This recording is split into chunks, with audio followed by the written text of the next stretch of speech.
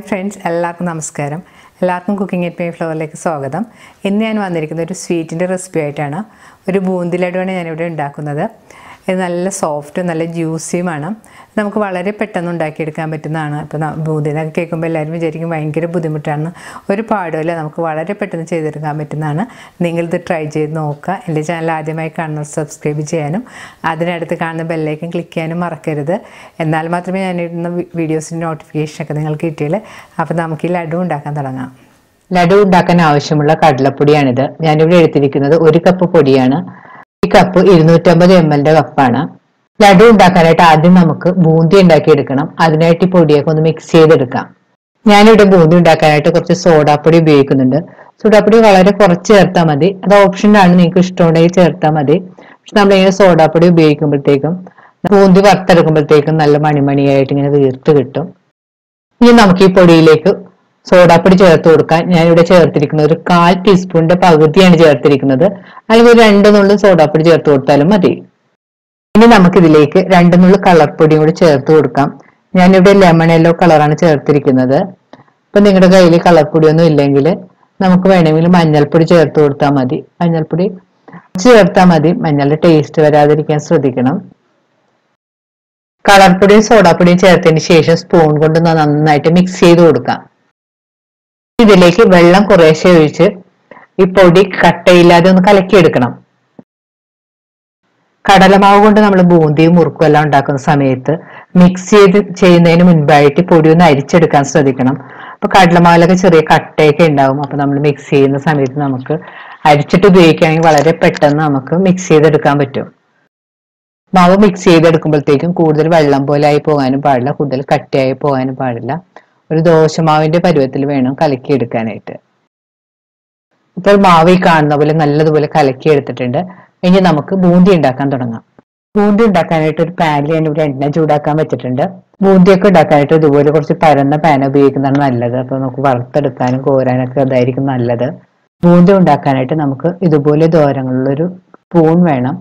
എണ്ണ പാകത്തിന് ചൂടായോ എന്ന് അറിയാൻ വേണ്ടി കലക്കി വെച്ചിരിക്കുന്ന മാവിൽ നിന്ന് ഒരു ഡ്രോപ്പ് മാവ് നമുക്ക് ഈ ചൂടായ എണ്ണയിലേക്ക് ഇട്ട് കൊടുക്കാം. മാവ് ഇട്ടപ്പോൾ തന്നെ അത് മേലിലേക്ക് ഇതുപോലെ പൊങ്ങി വന്നിട്ടുണ്ട്. എണ്ണ പാകത്തിന് ചൂടായി വന്നിട്ടുണ്ട്. ഇനി നമുക്കിത് കോരി മാറ്റാം. ഇനി ചൂടായ പാന്റെ പുറത്തേക്ക് ഈ സ്പൂൺ ഇതുപോലെ വെച്ചതിന് ശേഷം വേറൊരു സ്പൂൺ കൊണ്ട് കുറച്ച് മാവിന്റെ പുറത്തേക്ക് ഒഴിച്ചു കൊടുക്കാം.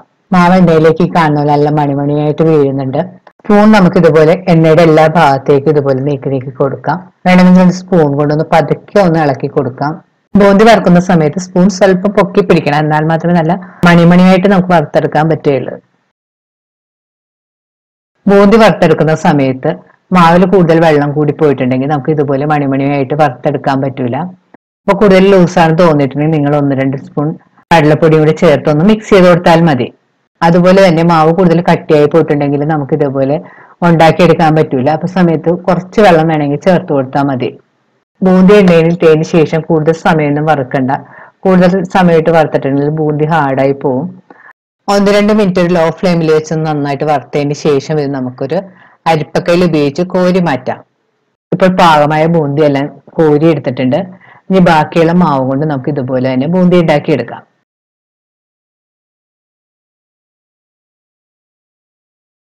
ഇപ്പോൾ ബൂന്തി എല്ലാം ഈ കാണുന്ന പോലെ വറുത്തെടുത്തിട്ടുണ്ട്. ഇനി ഞാൻ ഇതിൽ നിന്ന് ഒരു പകുതി പോർഷൻ പൂണ്ടി മിക്സിയുടെ ഒരു ജാറിലിട്ടൊന്ന് പൊടിച്ചെടുക്കും.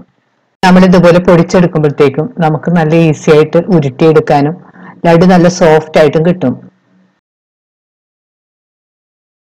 ഇപ്പോൾ പകുതി ഭാഗം പൂന്തി ഈ കാണുന്ന പോലെ ഒരു തരിതരിപ്പായിട്ട് പൊടിച്ചെടുത്തിട്ടുണ്ട്. ഇനി ഇത് നമുക്ക് മാറ്റി വെക്കാം. ഇതൊന്ന് പൊടിച്ചെടുക്കാനുള്ള ഇൻഗ്രീഡിയൻസ് ആണ് ഗ്രാമ്പും ഏലക്കയും.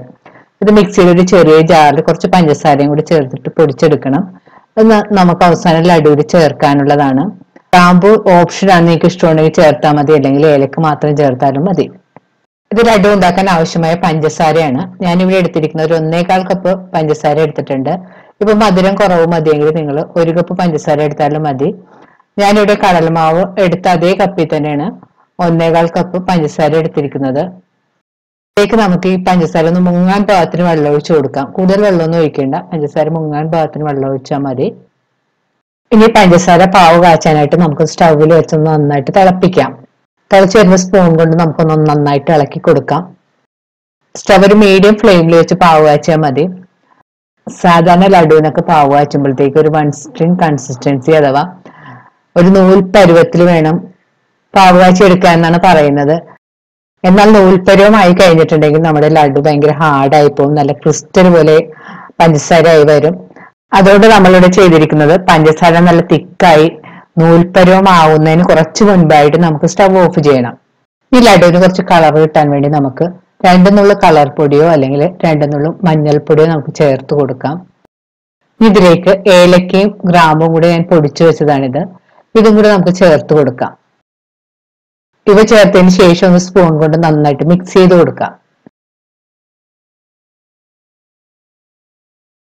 ഇടയ്ക്ക് പഞ്ചസാരപ്പാവ് പാകമായിട്ടുണ്ടെന്ന് കൈ കൊണ്ടൊന്ന് തൊട്ട് നോക്കണം. ഇപ്പൊ കൈ കൊണ്ട് തൊട്ട് നോക്കിയപ്പോ കുറച്ച് ലൂസാണ് അപ്പൊ നമുക്ക് കുറച്ച് സമയം കൂടെ വെക്കാം. ഇപ്പൊ പാവ് കാച്ചാൻ വെച്ചിട്ട് ഒരു എട്ട് മിനിറ്റ് എല്ലാം കഴിഞ്ഞിട്ടുണ്ട്. കുറച്ച് തിക്കായി വന്നിട്ടുണ്ട്. ഇനി നമുക്ക് കയ്യിൽ ഇങ്ങനെ എടുത്തിട്ട് രണ്ട് വിരലിന്റെ ഇടയിൽ വെച്ചിട്ട് ഇങ്ങനെ ഒന്ന് തൊട്ട് നോക്കാം. ഇപ്പൊ കയ്യിൽ നന്നായിട്ട് ഒട്ടിപ്പിടിക്കുന്ന ഒരു പാകമായിട്ടുണ്ട്. കൂടുതൽ നൂൽപ്പരുവൊന്നും ആണ്ട് അതിന് മുമ്പ് നമുക്ക് സ്റ്റവ് ഓഫ് ചെയ്യാം. പഞ്ചസാരപ്പാനി കൂടുതൽ നൂൽപ്പരുവമായിട്ടുണ്ടെങ്കിൽ നമ്മുടെ ലഡു ഭയങ്കര ഹാർഡായി പോകും അതുകൊണ്ട് ഈ സമയം പെട്ടെന്ന് തന്നെ നമ്മൾ സ്റ്റവ് ഓഫ് ചെയ്യണം. എടുത്ത് മിക്സിയിൽ അടിച്ചു വെച്ചിരിക്കുന്ന ബൂന്തിയിലേക്ക് ബാക്കിയുള്ള ബൂന്തി കൂടി ഇട്ട് കൊടുക്കണം. അതിനുശേഷം ഈ പഞ്ചസാര പാവ് കാഴ്ചത് ചൂടോടുകൂടി തന്നെ ഇതിലേക്ക് ഒഴിച്ചു കൊടുക്കാം. നന്നായിട്ട് മിക്സ് ചെയ്ത് കൊടുക്കാം. ഞാനിവിടെ പാവ് മുഴുവൻ ഇതിലേക്ക് ഒഴിച്ചു കൊടുക്കുന്നുണ്ട്. ഇപ്പൊ നിങ്ങൾ വേണമെങ്കിൽ ആവശ്യത്തിന് കുറേശ്ശായിട്ട് ഒഴിച്ചിട്ട് വേണമെന്നുണ്ടെങ്കിൽ ചേർത്ത് കൊടുത്താൽ മതി. ഒഴിക്കുന്ന സമയത്ത് ഇതുപോലെ ലൂസായിട്ട് ഇരിക്കുമെങ്കിലും കുറച്ച് സമയം ഇരിക്കുമ്പോഴത്തേക്കും പൂന്തിയൊക്കെ വീർത്ത് വരുമ്പോഴത്തേക്കും നമുക്ക് കൈകൊണ്ട് ഉരുട്ടാമ്പുള്ള പാകത്തിനായിട്ട് കിട്ടും. ഇതൊന്ന് നന്നായിട്ട് സ്പൂൺ കൊണ്ട് മിക്സ് ചെയ്ത് യോജിപ്പിച്ചതിന് ശേഷം പാത്രം ഒന്ന് മൂടി കുറച്ച് സമയം ഒന്ന് മാറ്റി വെക്കണം. ഞാനിവിടെ ഒരു ചെറിയ പാൻ ചൂടാക്കാൻ വെച്ചിട്ടുണ്ട്. നമുക്ക് കശുവണ്ടിയും മുന്തിരിയൊക്കെ വറുത്തിടാനുള്ളതാണ് ഞാനിവിടെ മുന്തിരി മാത്രം വറുത്തിടുന്നുള്ളൂ. പാൻ ചൂടാകുമ്പോൾ അതിലേക്ക് ഒരു രണ്ട് ടേബിൾ സ്പൂൺ നെയ്യ് ഒഴിച്ചു കൊടുക്കാം. അപ്പോൾ നെയ്യ് നന്നായിട്ട് ചൂടായി വന്നിട്ടുണ്ട്. ഇനി ഇതിലേക്ക് നമുക്ക് രണ്ടായിട്ട് ഇതുപോലെ മുറിച്ച് വെച്ചിരിക്കുന്ന കശുവണ്ടി ഇട്ടൊന്ന് വറുത്തെടുക്കണം ഉണക്കമുന്തിരിയൊക്കെ വേണമെങ്കിൽ വറുത്ത് ചേർക്കാം. ഞാൻ പക്ഷെ ഇത് മാത്രമേ ഇവിടെ ചേർക്കുന്നുള്ളൂ. ഇപ്പോൾ കശുവണ്ടി ഒരു ചെറിയ ബ്രൗൺ കളറിലുമായി വന്നിട്ടുണ്ട്. ഇനി നമുക്ക് സ്റ്റവ് ഓഫ് ചെയ്തതിന് ശേഷം നേരത്തെ റെഡിയാക്കി വെച്ചിരിക്കുന്ന ലഡുവിന്റെ മിക്സിയിലേക്ക് ഇട്ട് കൊടുക്കാം. അതിനുശേഷം നന്നായിട്ട് സ്പൂൺ കൊണ്ട് മിക്സ് ചെയ്ത് കൊടുക്കണം. ഇപ്പോൾ പഞ്ചസാര പാനിയെല്ലാം ബൂന്തിയിൽ പിടിച്ച് നല്ല തിക്കായിട്ട് വന്നിട്ടുണ്ട്. ഈ സമയത്ത് നമുക്ക് ചെറിയ ചൂടോടെ തന്നെ കൈകൊണ്ട് ഉരുട്ടിയെടുക്കണം. ഇപ്പോൾ തന്നെ നല്ല കൊതിയൂർന്ന മണമെല്ലാം വരുന്നിട്ടുണ്ട്. ഏല ഏലക്കയുടെയും ഗ്രാമ്പൂവിന്റെയും നെയ്യുടെയൊക്കെ ഒരു നല്ല മണം വരുന്നുണ്ട്. ഇനി ഇതിൽ നിന്ന് കുറേശ്ശായിട്ട് എടുത്ത് കയ്യിൽ വെച്ച് ഇതുപോലെ ഉരുട്ടി ലഡു ഉണ്ടാക്കി എടുക്കാം.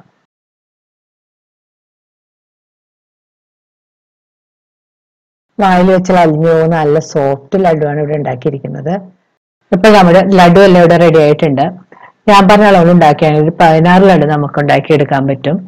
വളരെ സോഫ്റ്റും വളരെ ടേസ്റ്റിയുമാണ് ലഡു. നിങ്ങളിത് ട്രൈ ചെയ്ത് നോക്കുക. വളരെ പെട്ടെന്ന് നമുക്ക് ഉണ്ടാക്കിയെടുക്കാൻ പറ്റുന്നതാണ്. ലഡു ഉണ്ടാക്കാൻ വലിയ പാടൊന്നുമില്ല. ഇത് ട്രൈ ചെയ്ത് നോക്കുക. ഈ വീഡിയോ ഇഷ്ടപ്പെടുകയാണെങ്കിൽ ലൈക്ക് ഷെയറും കമന്റ് നിങ്ങളുടെ ഫ്രണ്ട്സുമായിട്ടൊക്കെ ഷെയർ ചെയ്യാനും മറക്കരുത്. വീണ്ടും ഇതുപോലുള്ള നല്ല റെസിപ്പിയുമായി നമുക്ക് കാണാം. താങ്ക്